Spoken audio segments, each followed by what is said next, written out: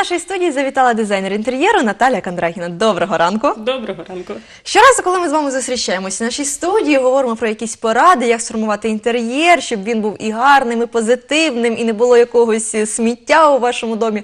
Але сьогодні перейдемо до практичних занять. Да. Що будемо робити?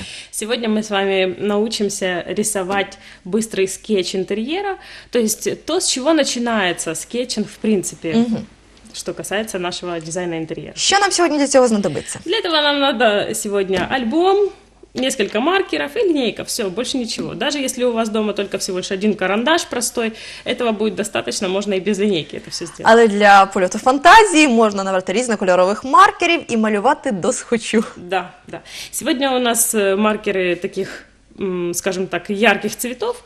Это для того, чтобы было понятно, где какая линия и что мы с чем соединяем. Пропоную вже розпочати, тому що мені вже цікаво.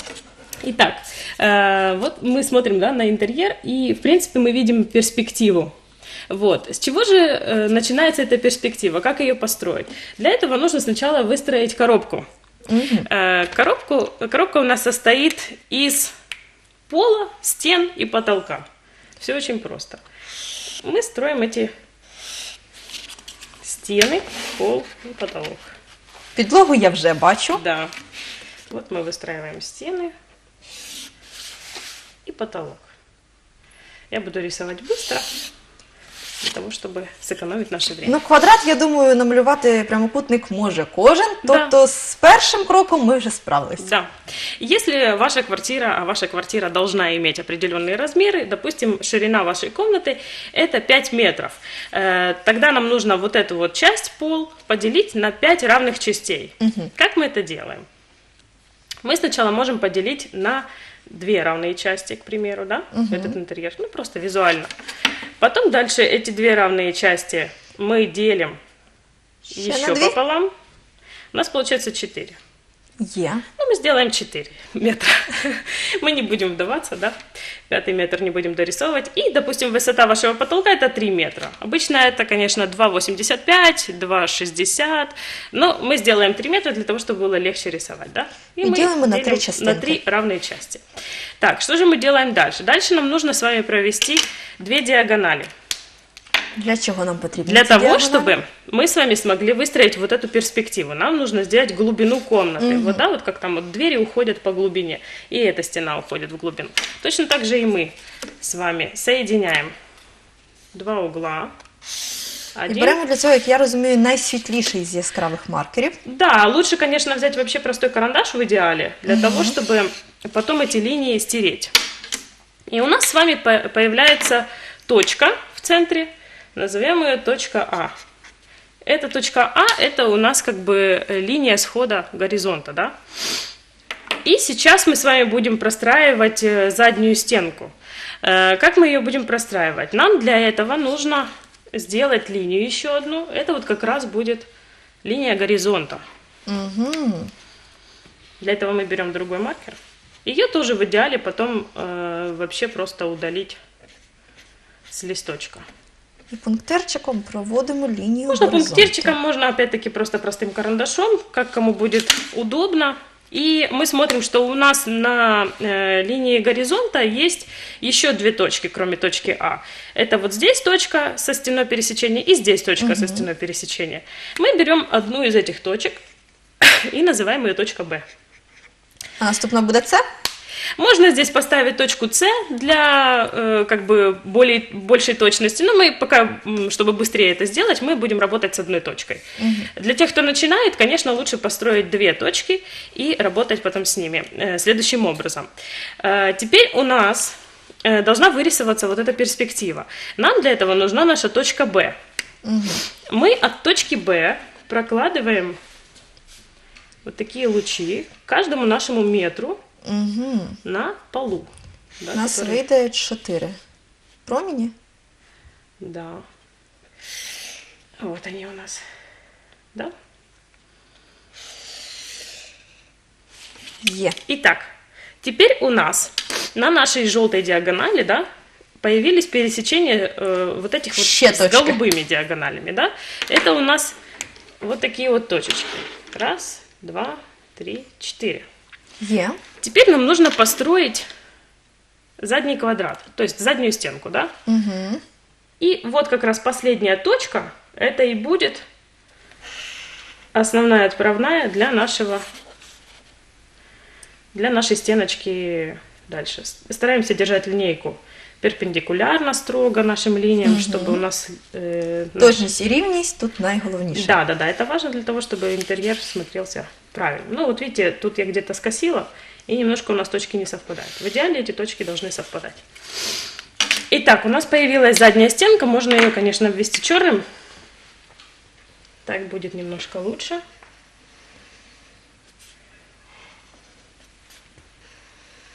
Есть. Теперь э, нам нужно простроить дальше интерьер. И мы вот эти вот наши диагонали, мы их также прорисовываем желтенькие, да? То есть нам нужно соединить эти два прямоугольника. Мы их соединяем. Так, наша комната уже имеет как минимум три стены, потолок и пол. Одну стену мы убираем для того, чтобы просматривать интерьер. Что же мы дальше делаем? У нас есть вот эти точечки. Для чего мы их поставили? Э, В идеале, если вы будете рисовать с этой стороны точку и проведете точно такие же лучи, у вас появятся здесь тоже точно такие же точки.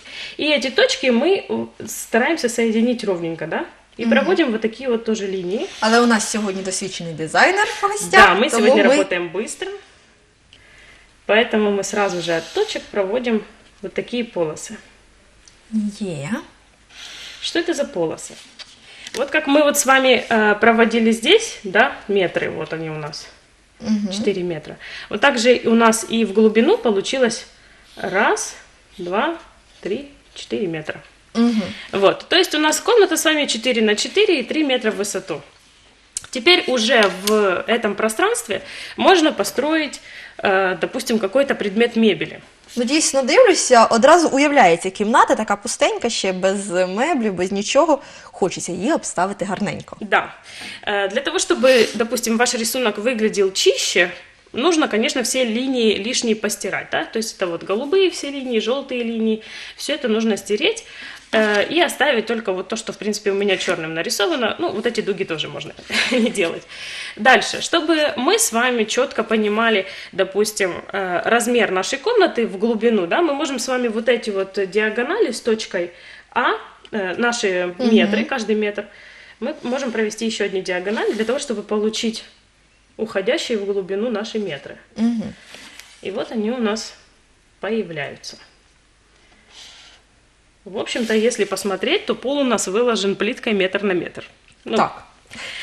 Теперь мы по этой плит- плитке или сетке, давайте ее назовем так, э, можем строить мебель. Мы для этого возьмем другой маркер, у меня уже все руки в маркер. Э, Тому обираємо олівці для тих, хто хоче, щоб ручки були чистішими. Да, конечно, простой карандаш намного будет лучше. Э, Итак, мы давайте с вами под этой стеночкой построим э, диван. Высота дивана у нас будет метр, и глубина дивана у нас тоже будет метр, а длина дивана будет 2 метра. Итак, э, для того, чтобы простроить длину, нам, в принципе, уже ничего не надо, потому что мы можем начать строить отсюда, да, и до сюда. И вот у нас с вами эти наши 2 метра уже есть длина дивана. Теперь как нам построить высоту дивана? Вот здесь у нас есть высота. Эта высота у нас равна 1 метр. И мы эту высоту должны перенести вот сюда. Угу. Как мы Також это делаем? Да, мы пользуемся линейкой всегда. Мы отмеряем на этой стенке 1 метр. Вот он наш, да? Угу. Так. И дальше мы его переносим в глубину, скажем так, да? Вот мы соединяем вот эту нашу отметку 1 метр с нашей точкой Точкой А. схода, да, точка А. Итак, где-то приблизительно вот здесь, да? Мы провели диагональ, чтобы лишних линий не было, я ее сразу... И потом мы дальше выстраиваем высоту.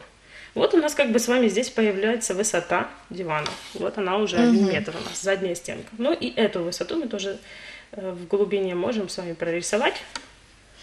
То есть вот у нас совсем задняя стеночка дивана практически готова. Для того, чтобы сделать ее более объемную, мы с вами прорисовываем еще горизонтальные линии, да? Можно под- подрисовать их. Так, и проводим опять диагональ. Є. Так, у нас уже готов, готова верхушка, да? Угу. Теперь мы опускаем... Высота сидения у нас 60 сантиметров.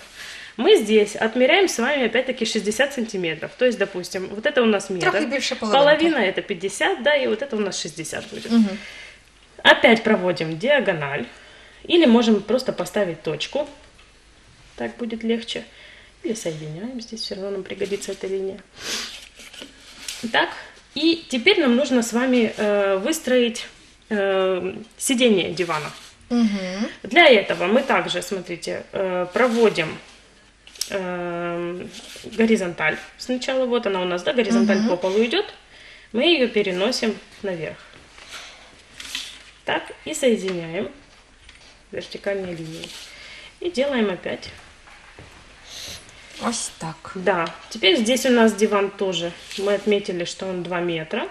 Опять проводим линию и поднимаем вверх. Ух ти. То есть вот у нас уже сиденье с вами вырисовалось. И нижнюю линию тоже обведем. И здесь просто соединяем точки. Так, здесь можно опустить глубину дивана, да, сделать ее спиночку более объемную. И вот у нас уже как бы минималистичный диван прямоугольный уже готов. Мы его можем заштриховать, как нам больше нравится. Конечно, в идеале все лишние линии должны убираться карандаше, когда мы это все делаем. Э, Дальше уже с вот этим прямоугольным диваном можно работать в объеме. То есть ему можно придать э, более мягкие формы, скруглить углы, добавить ножки, да. То есть мы уже потом дальше работаем э, на Додати форму. декору самому дивану. Да, сначала мы создаем просто размер, как бы кубический, да, такой. Потом мы это все делаем более мягким, более интересным, такого дизайна, какой нам, в принципе, нужен. Все вот эти интерьеры, они простраивались именно по такому принципу. Сначала выстраивается вот эта коробка, потом в ней расставляется мебель. Вот, допустим, да, у нас вот это точно такая же перспектива, как мы только что разбирали с вами. Наскільки я розумію, Наталочка, то наступним нашим кроком це додавання вже ще меблів, які ми хочемо. Там якийсь стільчик, якась тумбочка, і так само по діагоналям все по метрам, міліметрам ми вираховуємо і розміщуємо там, де ми хочемо, щоб вони стояли. Да, да, конечно.